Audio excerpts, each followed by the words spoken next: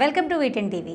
ఓ బాలుడు చేతికి గాయం అయిందని వెళ్తే మొత్తం చెయ్యినే లేకుండా చేశాడు ఓ వైద్యం రాని వైద్యుడు.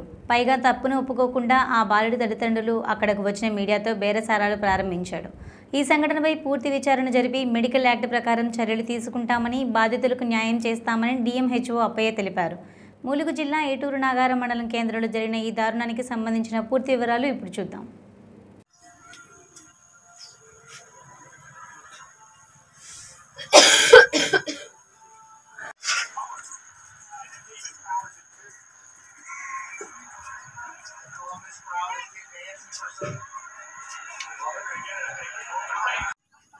వాడే కడిగి వాళ్ళు పెట్టుకుంటా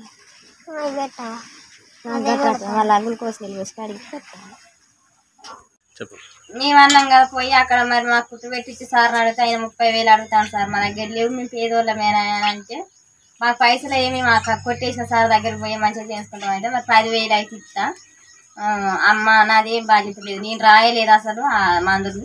నువ్వు భరత్ రెడ్డితో రాకించుకున్నావు ఏంటంటే అట్లా ఒప్పుకుంటాను మీరు పేదోళ్ళని సాయం చేద్దామని. పదివేలు ఇస్తే అక్కడ నన్ను చూసుకో నాకు తెలియదని అన్నాడు. అయితే పదివేలకు తేడా అవుతుంది ముప్పై వేలు ఏమైనా అడుగుతాను. మా వల్ల కాదు నువ్వే కుట్టు పెట్టిపోయి నేను అన్నా. అంటే మేము పెట్టిస్తామని అన్నాడు.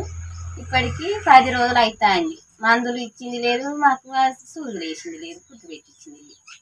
ఒక్కరోజు వరంగల్ ఆ సార్ సీమ్ తీసుకొని అందులో ఇన్ఫెక్షన్ ఉన్నదని వచ్చిందట మేము కుట్లు పెట్ట